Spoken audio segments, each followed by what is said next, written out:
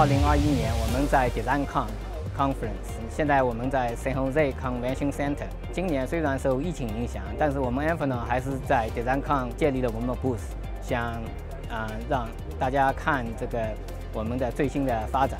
你现在在的是啊 Amphenol SSIO 的 booth，那么我们现在啊，我现在会过一下我们这个 SSIO 产品线，并且 highlight 一些我们的亮点。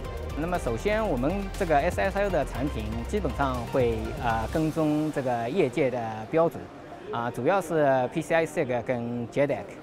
那么啊在 PCI SIG 里面啊 CAM 啊是啊 CAM Connector 是 follow 这个 CAM 的 spec。那么现在来说，协会已经啊 close 的啊已经完成了这个 Gen 5的标准。那么我们也已经把 Gen 5的产品完全完全这个呃产业化了。那么现在我们的工程已经在在研发那个下一代 Gen 6，我们也跟这个协会在合作做啊 Gen 6的这个啊研发。那么另外一个产品也是从 PCI SIG 出来的，就是啊 M.2 Connect，主要用在这个 Module SSD。跟啊 wireless 的应用，那么在这个产品线，协会还没有完全把啊标准定下来，那么已经有了一个提前的 preliminary 的标准。那么我们根据这个啊标准呢，我们已经 tool 了这个啊减呃减五的八点五个毫米高的那个产品。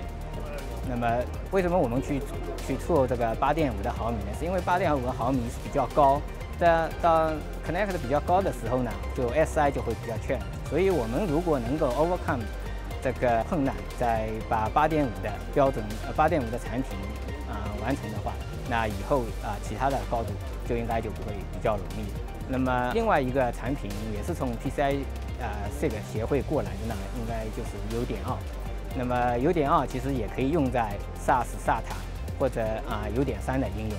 那么啊，现代协会呢刚刚开始减五的研发，我们也跟协会、跟我们的合作伙伴在合作，那么进行减五的研发。我们已经有一款减五的8639那个 tool 的，那么我们根据这一款，我们能够测试那个 SI 的啊性能，然后来做其他的，再扩展其他的这个变化。